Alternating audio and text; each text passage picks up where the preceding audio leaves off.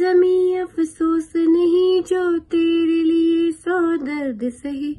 महफूज रहे तेरी आन सदा, चाहे जान मेरी रहे ना रहे। ऐ मेरी जमी, महबूब मेरी मेरी नस नस में तेरा इश्क बहे। फीका न पड़े कभी रंग तेरा, जिस्मों से निकल के खून कहे। हाय तेरी मिट्टी में मिल जावा गुल बन के मैं खिल जावा इतनी सी है दिल की आरज़ू। जय हिंद, वंदे मातरम। मित्रों, ये है रेडियो हिंदुस्तान और मैं हूँ आरजे अंजू। आज कारगिल दिवस है, कारगिल विजय दिवस। कारगिल विजय दिवस स्वतंत्र भारत के सभी देशवासियों के लिए एक बहुत ही महत्वपूर्ण दिवस है।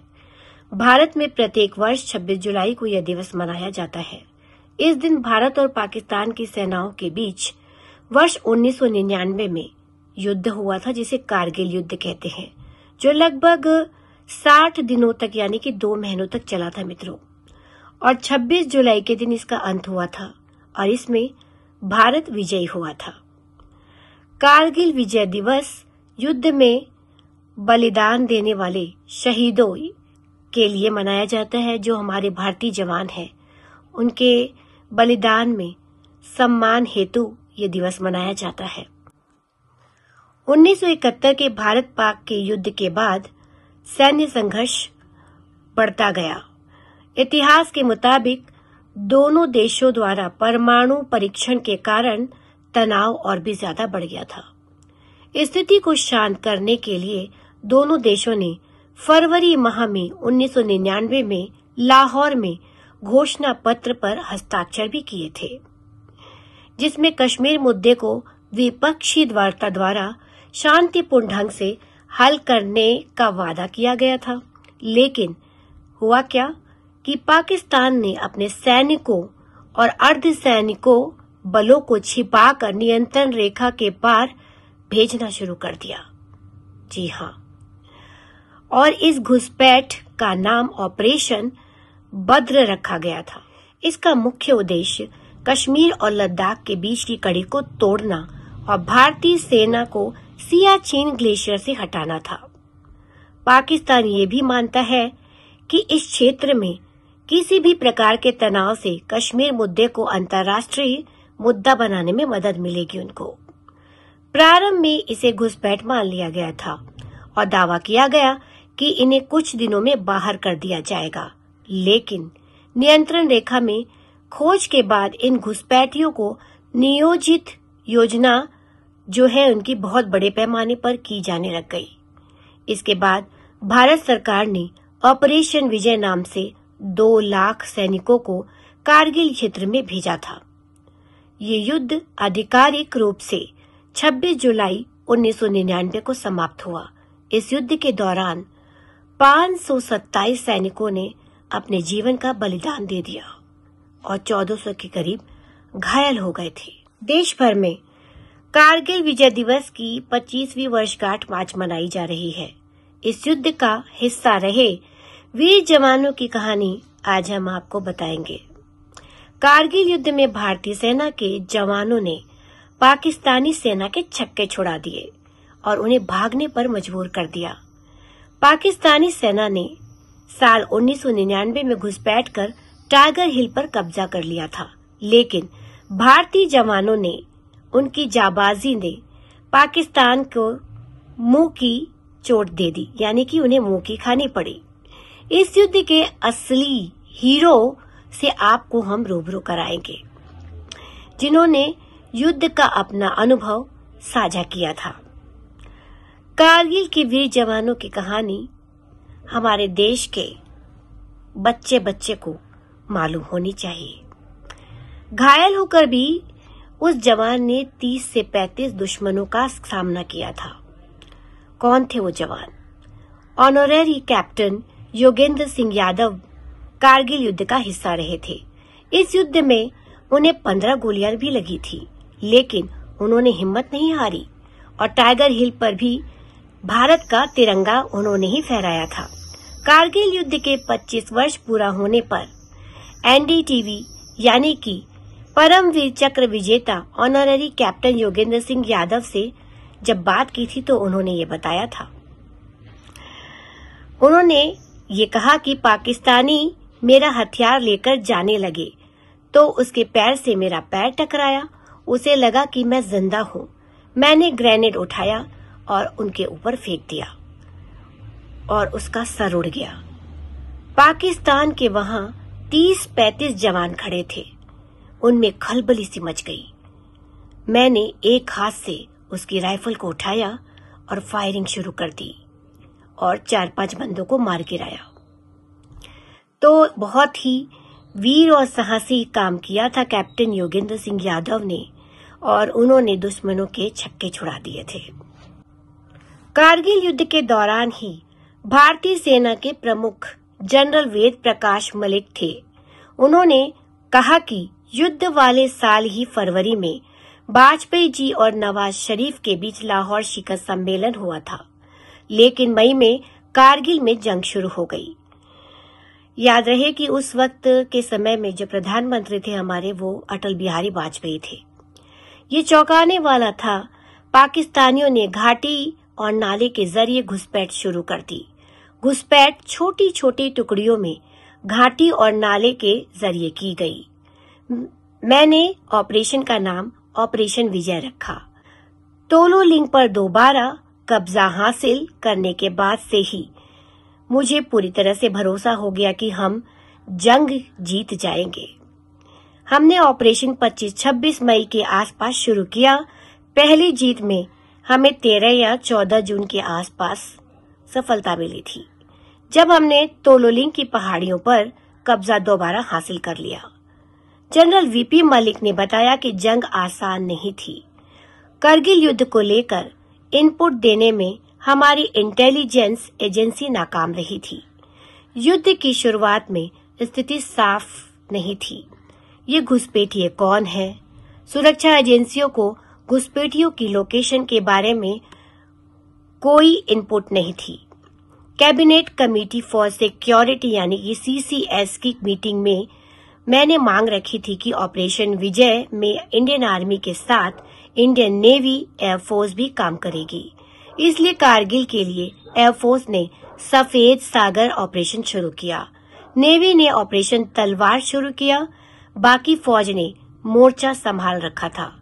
हमने ऑपरेशन का नाम ऑपरेशन विजय रखा था और ऐसा हुआ भी। ये वो शब्द थे जो करगिल के उन वीरों ने अपने जबानी सुनाए थे। करगिल युद्ध में वायुसेना के उन पाँच हीरो को कोई कैसे भूल सकता है? जो आसमान से दुश्मनों के लिए आफत बने। ये पाँच हीरो अब रिटायर हो चुके हैं, लेकिन युद्ध की यादें आज भी तक एकदम ताज़ा है। एयर मार्शल रघुनाथ नाम्बियार वो शख्स थे जिन्होंने सबसे पहले हिंदुस्तान में लेजर गाइडेड बम का इस्तेमाल किया था। दूसरे हीरो थे एयर मार्शल दिलीप पटनायक, जिन्होंने इस युद्ध में पाकिस्तान सेना और आतंकवादियों के छक्के छुड़ा दिए थे। तीसरे हीरो हैं, ग्रुप कैप्टन श्रीपद टोकेकर। इन्होंने मिराज 2000 के ज़रिए मुनथो धालो की पहाड़ियों पर पाकिस्तानियों के चीथड़े उड़ा दिए। अगले hero group captain Anupam Banerjee हैं, जिन्होंने मिग 27 के फाइटर से दुश्मनों के दांत खट्टे कर दिए। वहीं पांचवे हीरो हैं, विंग कमांडर पीजे ठाकुर, जिन्होंने मिग 25 से दुश्मन की लोकेशन का पता लगाया और दुश्मनों के खौफनाक इरादों को नाकाम कर दिया। करगिल युद्ध में शामिल कैप्टन नचिकेता ने युद्ध के जो किस्से सुनाए, वो हम आपको बताए कि मिग 27 में के इंजन में आग लगने के बाद उन्हें इमरजेंसी लैंडिंग करनी पड़ी। नीचे गिरने के आधा घंटे बाद पाकिस्तानी सैनिकों ने उन्हें घेर लिया और पकड़ लिया।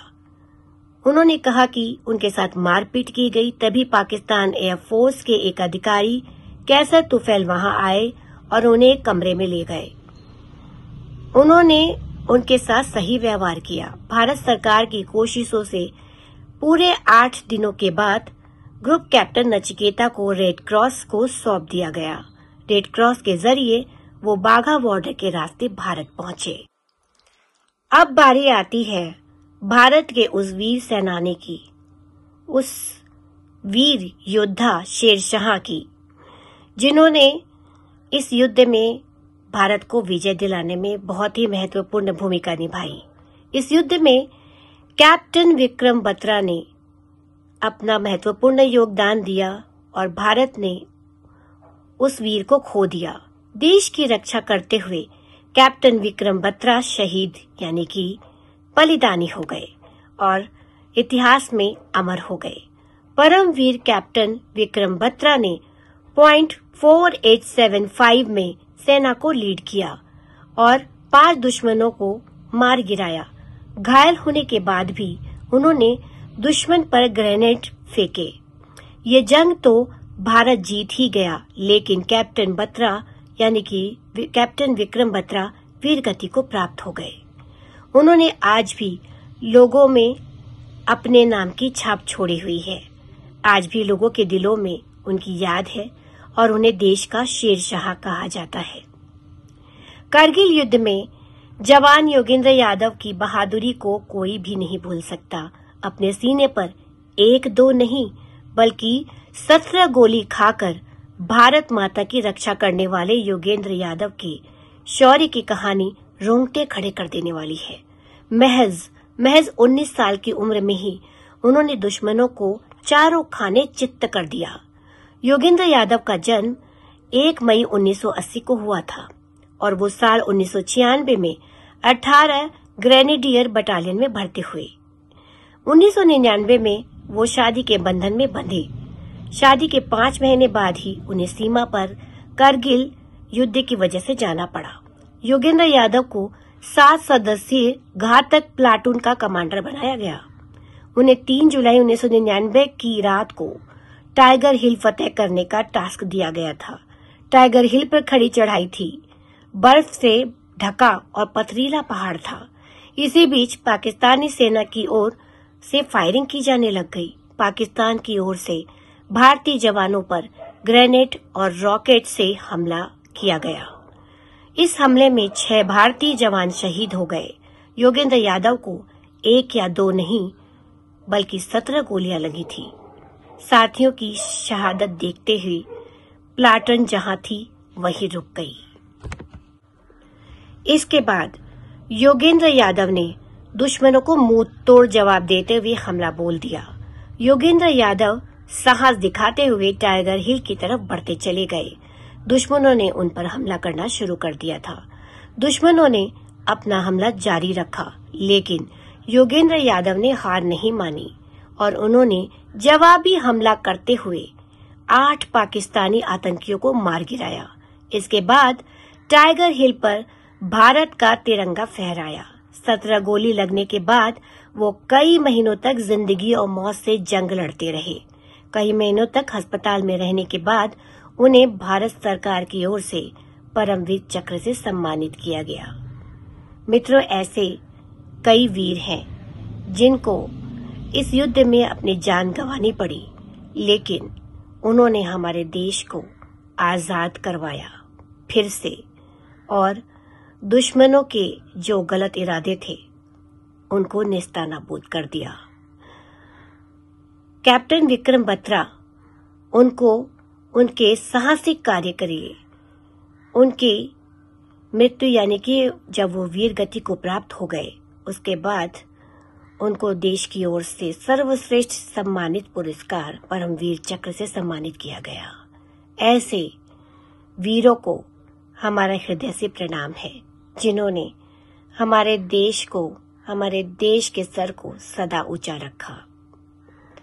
तो आज के लिए बस इतना ही कहूँगी कि हमें अपने देश के वीरों के बलिदान को भूलना नहीं चाहिए और अपने देश की जो हमारी साख है, जो हमारे देश का सम्मान है, उसे हम सभी का कर्तव्य है कि हम बनाए रखें और अपने देश का सर कभी झुकने न देने का हमेशा प्रयास करते रहे।